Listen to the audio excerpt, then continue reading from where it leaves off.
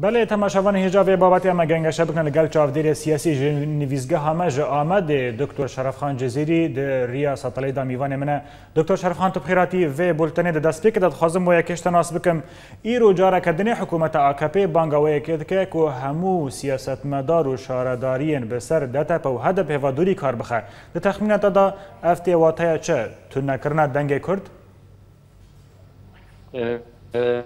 سلاف هنشتر پیشی از نه دکتورم از نویسکارم لی او تی چوا تی نرو دکره و ها بجه حکومت دخوازه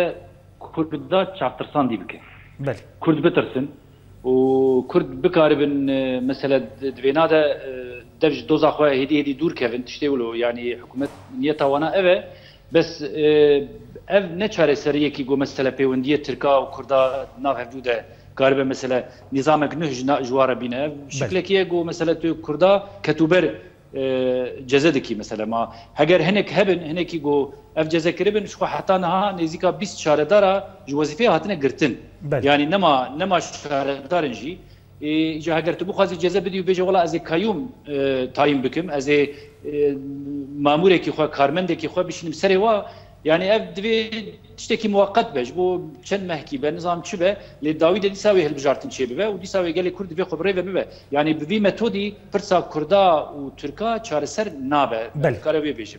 لالي كدني بريز شرف خان خواندنا و لسر گوتنا رایدارین کجک مراد قرا اعلان چیه کو ایرو دبیجه اگر کو اف سیاست پیک وره و دنگین کردان تیک بچن اما گفه لحکومت AKP و لأردوغان بخن افتی واتیه کو روپلک نو جشر هات را گهاندن؟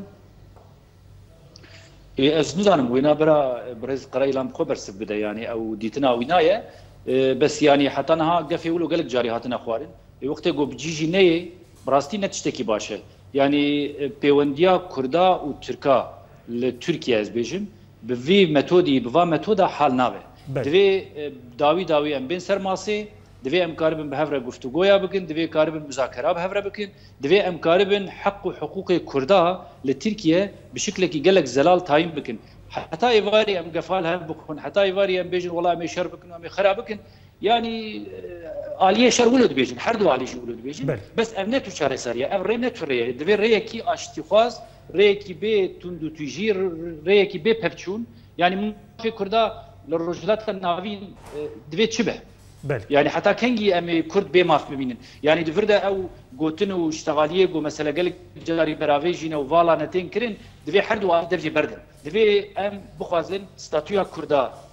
20 سال دي 30 سال دي 40 سال دي ولرجات نافين چاوابه از دخوازم وقت مثلا کسی که نسبینی بجم ما از دخوازم حدود نبینا قامش لو نسبینی در رابع از وقت کردکی از دخوازم مروی منی قامش لو به پاسپورت و به نزانم به چه بنجم از دخوازم آزاد